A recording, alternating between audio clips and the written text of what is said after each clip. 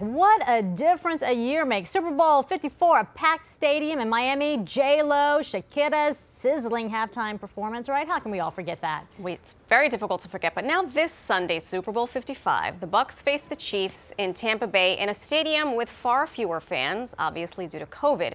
And given everything we've been through this past year, the pandemic, protests, a volatile presidential election, this Sunday's game takes on a whole new meeting. For many different reasons. So joining us this morning is sports journalist Jemele Hill to offer some insight on uh, and really weigh in on this year's big game. Jamel, so good to see you. Good morning. Good morning. Yeah, thanks for having me. I appreciate being here. Absolutely. And let me know if I get to weigh in on the pizza debate. oh, oh, yeah, we want to know. Right, we'll right. save that for last. In the meantime, though, okay. there's there's a lot riding on this weekend's game, right, for both teams and their quarterbacks. How do you see this playing out? Well, I mean, it, this is uh, kind of a historic matchup because you have Tom Brady, who's played in 50, 11 Super Bowls, and Patrick Mahomes, who's the defending uh, Super Bowl champion, and, you know, kind of the new generation versus the old mm-hmm. generation. And so uh, I think, you know, this is going to be a really good game. Um, certainly for Tom Brady, his career is already cemented, already proven. Uh, but I think if you're Patrick Mahomes and you're able to get a Super Bowl victory over Tom Brady, mm-hmm. uh, that just adds that much more to your resume. Oh, yeah. I do want to add that there was once upon a time my Giants did defeat uh, Tom Brady. So he is a mortal. I just want to make sure we put that on the record. But Jemele, you know, speaking of, of, of, quarterbacks, one of the most famous quarterbacks is Colin Kaepernick, a friend of yours, a partner of yours. Uh, the new docu-series on his life and activism premieres this weekend, Colin Kaepernick versus the World. You're also working together on another project. Which brings us to the big question. You know, he really brought light to something that gave birth in some ways to the Black Lives Movement. Uh, we have not seen Colin Kaepernick play since he took a knee during the singing of the national anthem August 26, 2016. And here we are. So, what do you think now of the state of race and sports now and moving forward? Well, um, I guess Colin Kaepernick was uh, too many years ahead of his time because now everybody wants to have a conversation about race, sports, and social injustice. And he was having this conversation and trying to get America to have this conversation long before the events of 2020.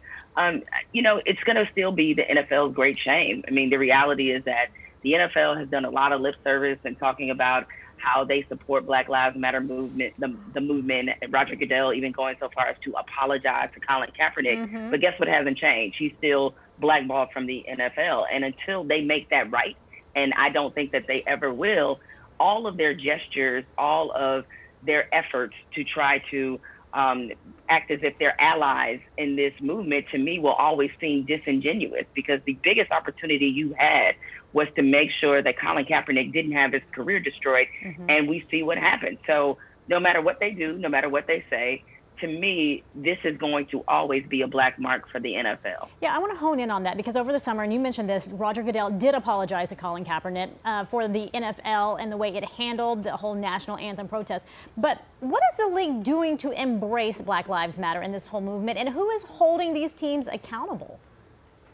Well, if you look by their track record, they're doing nothing. I mean, we uh, have three black head coaches in the NFL, and while there are more GMs, I believe there there may be five black GMs. We're talking about a league that is 70% black, no majority black owner. Um, you know, there's never been a, a NFL owner that's been black. So there's a lot that the league needs to correct in its own, um, you know, in, inside of its its own organization, and they want to be considered to be some kind of mouthpiece when it comes social justice. Well, you can't be that mouthpiece if you can't fix what's happening in your own league. Now, I realize this is not just about Roger Goodell. He's the face of the league in mm. many ways.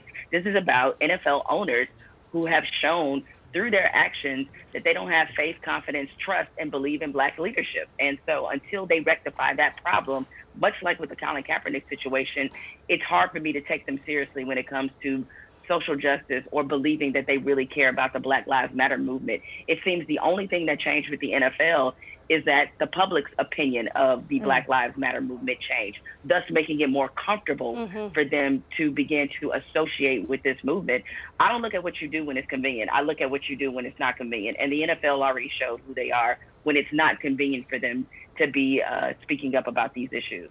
And and to that point, you know, Colin Kaepernick was obviously still an active player when he started kneeling, which sparked this whole movement. And I think about one of the three black uh, coaches that you talk about, Brian Flores of the Miami Dolphins. I know that he was very active, but he is only one voice. I wonder if you think it is the responsibility of active players or or people who are on the field who, who are part of operations to sort of carry that mantle as part of the active NFL to speak out in the same kind of way that Colin did? Or is it for the well, people on the sidelines to look?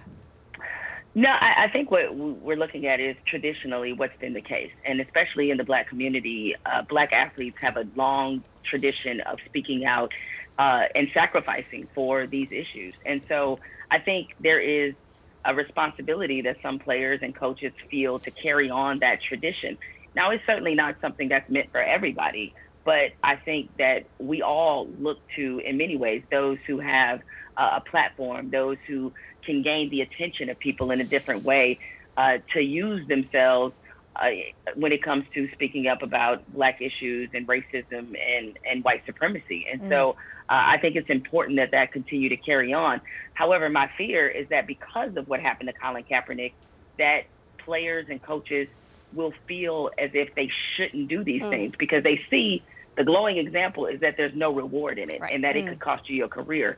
So that is among many reasons why Colin Kaepernick needs to have a job in the NFL because you don't want to send the message that those who speak out on the right side of history will somehow be penalized for doing that. Well, and, and, just to know, Colin is only 33 years old. Tom Brady is going to play in this Super Bowl, and he's 43. So Colin has a lot of, of road ahead right. of him in terms of, of his athletic prowess. But go, go ahead, go ahead. Yeah, I just wanted to button that up because uh, you, you know you're walking the walk, Jemele. Uh, you have a whole lot on your plate. I mean, you're what you're producing right now, contributing to a writer to the Atlantic. You have a popular podcast, Unbothered. Your show on Vice. Um, won't stick to sports. Do you feel feel vindicated after everything that happened, that went down in 2018? You know, vindication is an interesting word. Um, you know, I, didn't want to be right about the president.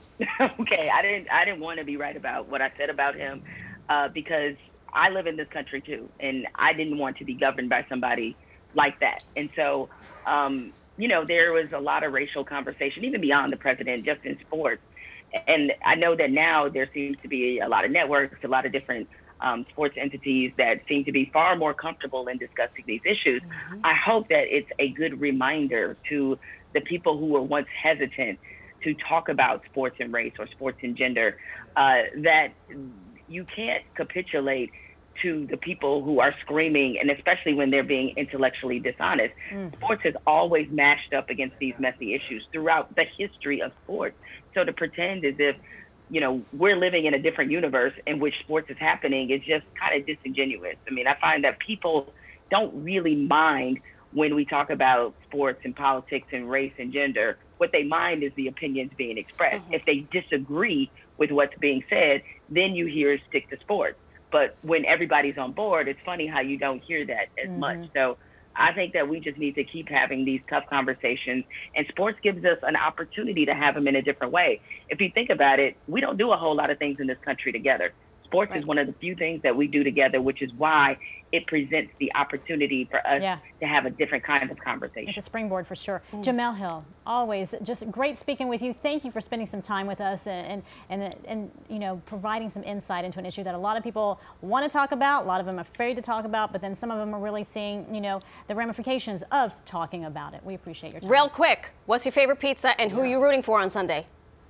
Okay, so I got to be honest. I lived in Connecticut. I know. My time at ESPN. I know. Been to New York a million times. Connecticut has better oh, pizza. Oh, she went to Connecticut. Mamita, thank Wait, you. which place? Yes. Which place? Oh, um, so Pepe's is, is really good, but there's a thousand other places in Connecticut. You can just stumble upon good pizza this anywhere. I'm and I'm sorry, in New York, I think you have to go hunting a little bit because mm-hmm. the market is so saturated. In Connecticut, the quality is out. there and mm-hmm. everywhere. This exactly. Is so and I predict Tampa Bay will win this Super Bowl. Tom Brady Okay. will win the ring. Really? All right. Going with the You Bucks. heard it here. Thank you so much. All right. Now come back soon. Thank Good you, to talk to you.